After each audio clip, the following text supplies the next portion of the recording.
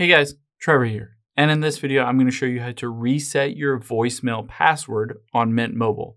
Now, if you forgot what that password is, but you wanted to be able to check and listen to what your Mint Mobile voicemails are, I'll walk you through the entire process. But first, my partner Mint Mobile gave me the link down below. All you have to do is click on the link. If you're a new customer, you get $15 per month for the first three months, and you get unlimited data. So you get a great deal. If you are signing up for Mint Mobile, I recommend hitting the link down below and checking it out.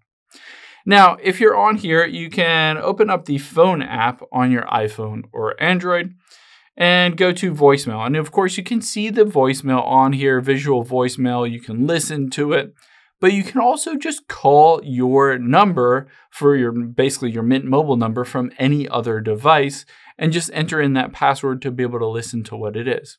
However, let's say you forgot that password and wanted to change it or reset it. Let's tap on settings here. And then we'll scroll down and tap on phone. Now on here, all we need to do is scroll down and you'll see the change voicemail password button. Now I'm going to choose business here and it says all I have to do is enter in a new voicemail password. So I can enter that in here and re-enter it in and just hit done. And just like that, it will save the new voicemail password for my Mint mobile account. So I'll be able to go in on any other device, call my number, and essentially check that voicemail wherever I am, no matter what device I'm using.